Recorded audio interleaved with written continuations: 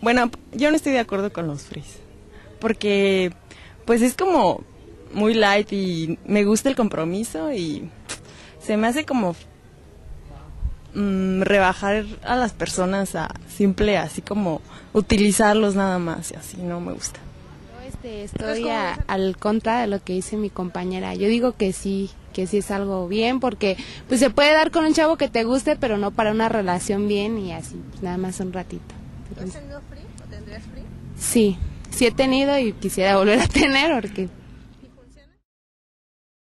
es eh, lo que los jóvenes llaman, ¿no? Pues es nada más vernos de vez en cuando y bueno, las características es sobre todo que se trata de no involucrar sentimientos y este pues el compromiso, ¿no? No hay un compromiso formal de una relación eh, son momentos, ¿no? De verse cuando ambos necesitan compañía y pues se acabó, ¿no? Yo opino que está bien, ¿no? Porque cuando no quieres tener así como una relación así dudadera y así cuando, no sé, cuando no quieres tener algo serio está bien. Yo estoy de acuerdo. Eh, yo opino que, no sé, el free, pues, a veces se puede dar cuando no puedes tener una certeza exacta de, de lo que significa una verdadera relación.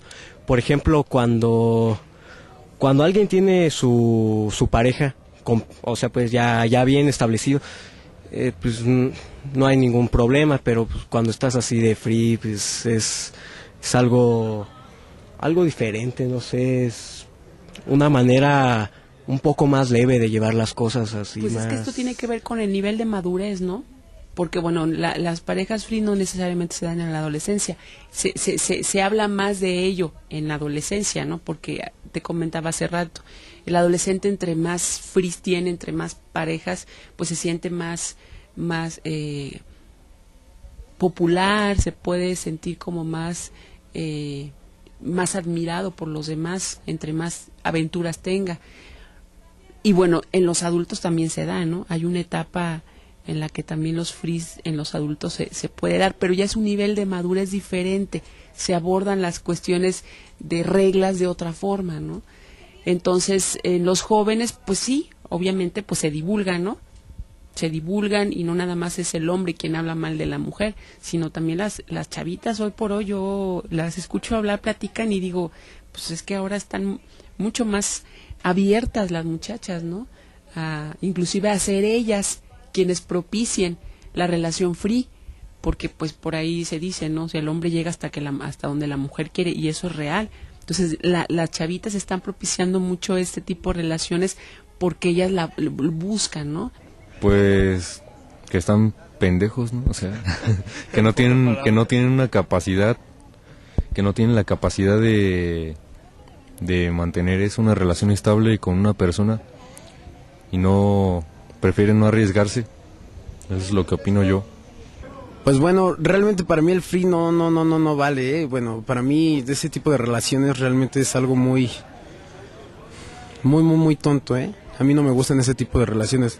O sea, yo, yo soy de las personas que piensan que convivir con una persona, bueno, tener un noviazgo es algo muy, muy, muy, muy padre, ¿no? Muy, muy, muy sagrado, por así decirlo. Este, puesto que en una, en una relación hay muchísima intimidad, muchos, muchos secretos se comparten del cuerpo, este, eh, entre otras cosas, de secretos ideológicos, no sé. Pues bueno, como para estar jugando de con ese tipo de cosas, realmente no, no, no se me hace una, una cosa que valga, ¿no? es un poco complejo, ¿no? Estaríamos hablando de que las, las, las parejas que conforman este tipo de relación, bueno, tienen una historia detrás de ellos y entonces cada quien tiene un porqué hacerlo. Pero en general, pues se puede llamar eh, el- la falta de compromiso, ¿no? Vivimos hoy por hoy eh, muy influenciados por esta situación de primero, primero me realizo yo, primero hago yo lo que tengo que hacer y después pienso en el otro. Entonces un poco este, esta, esta cultura ahorita, ¿no? Muy, muy de, del yo primero, del egoísmo, que no es que esté mal, está bien pensar en uno y en su realización, pero de pronto esto se convierte en, en, en, en, ser un poco egoísta, ¿no? Y no pensar en, en los demás. Y al no pensar en los demás y al no pensar en, en el bienestar del otro, pues te vuelves hasta cierto punto poco superficial, ¿no? Y entonces pues te diriges a tener una relación de cariño, ¿no? Que haces como les llaman, una pareja nada más para darte cariño, para tener encuentros a nivel sexual y pues para divertirte, ¿no? Irte al antro y este tipo de cosas y puede que pase una semana, dos semanas, tres semanas y no hay ningún compromiso, ¿no? Ninguno de los dos puede reclamar nada porque porque así es la relación, ¿no? Eh, un tipo de relación muy actual, es algo moderno que se usa entre chavas y chavos, y bueno, chavos y chavos, chavas y chavas, ya no se distingue el género, pero yo creo que aquí lo importante en el free es que las cosas queden bien estipuladas y que cada quien eh, siente las bases de lo que va a querer porque no falta quien sale lastimado y pues la verdad es que se pone medio mal el asunto, pero pues el free, cada quien es libre, ¿no? Estamos en la era del libre pensamiento.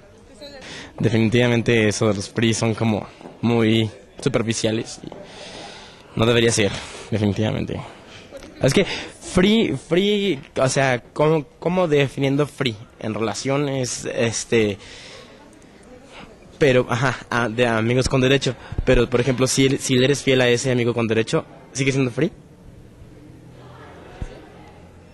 Y si hay algo más involucrado ahí, sigue siendo free, aunque ellos le den el, el título de free, pero ya no es free.